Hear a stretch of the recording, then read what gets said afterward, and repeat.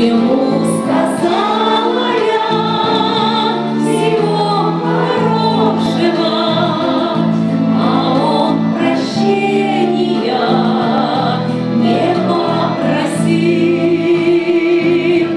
Ромашки спрятались, одинокая гармонь, ой, цветет калина. Каждая мелодия – воспоминания. Сегодня химчане поют народные песни вместе со Светланой Сафроновой. Выпускница Гнесинки и лауреат международных конкурсов много лет преподает вокал. Самое важное – певческое дыхание, настроить которое можно с помощью специального упражнения. Буду вам говорить имена, а вы будете, как будто в лесу представляете, далеко-далеко будете кричать, чтобы на опоре красиво шел, шел звук. Вот, допустим, так. Там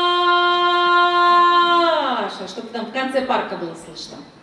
Вдох взяли красиво, щечки подняли, Сашу зовем. Саша,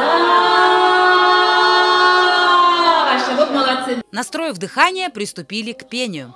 Вот поймал коса коня